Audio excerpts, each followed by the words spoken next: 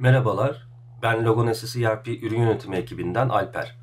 Bu videoda 9059 sürümüyle beraber ileri üretim planlama tarafında yapılan geliştirmeler ve yeni özelliklerden bahsedeceğim. Güncel sürümle beraber ileri üretim planlama tarafında yapılan geliştirmeleri 3 başlık altında sıralayabiliriz.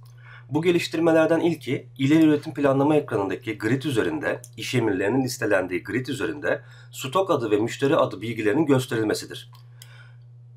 İş emirlerinin listelendiği grid üzerinde stok kodu sahasından sonra gelecek şekilde stok adı kolonu ve yine müşteri kodu sahasından sonra gelecek şekilde müşteri adı kolonu eklenmiştir. E, bu şekilde iş emirlerini müşteri adı bazında veya stok adı bazında filtreleyebilmek ya da sıralayabilmek mümkün hale gelmiştir. Bir ikinci geliştirme maddesi ise operasyon makine eşleştirme ekranında makine grubu ile eşleştir sekmesine geçtiğimizde gelen grid üzerinde makine grup adının da e, kolon olarak listelenmesi şeklindedir.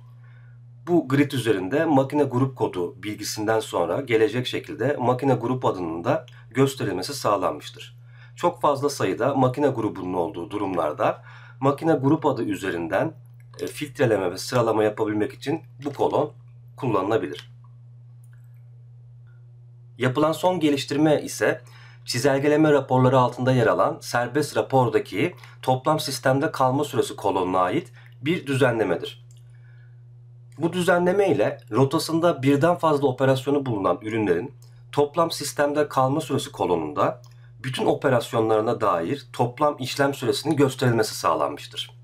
Bunu rapor üzerinden örnek olarak inceleyelim çizelgeleme Gantt görünüm, görünümü ekranında, gösterimi ekranında raporlar menüsünün altında serbest rapor kısmından rapora erişebiliriz. Serbest raporu açtığımızda burada e, inceleyeceğimiz iş emri için iş emri no bazında filtre verebiliriz. Örneğin 98 numaralı iş emrini incelediğimizde bu iş emrinde planlanan mamül 40 stoğunun birden fazla operasyonu bulunduğu için iki farklı satır şeklinde gösterilmektedir. Bu operasyonlardan bir tanesi montaj, operasyon montaj, bir tanesi de operasyon paketleme olarak görünmektedir. Bu şekilde rotasında birden fazla operasyonu bulunan bir ürün için toplam sistemde kalma süresi kolonunda iş emri numarası bazında iş emrinin için gerçekleştirilen bütün operasyonların toplam süresi gösterilmektedir. Bu sayede bu iş emri için bu raporda iki satır gözükürken toplam sistemde kalma süresi kolonunda bütün operasyonların toplam süresi gözükmekte ve iş emrinin toplamda sistemde ne kadar kaldığı raporlanabilmektedir. Toplam işlem süresi kolonu ise eskiden olduğu gibi operasyon kodu bazında e, raporlanmaktadır.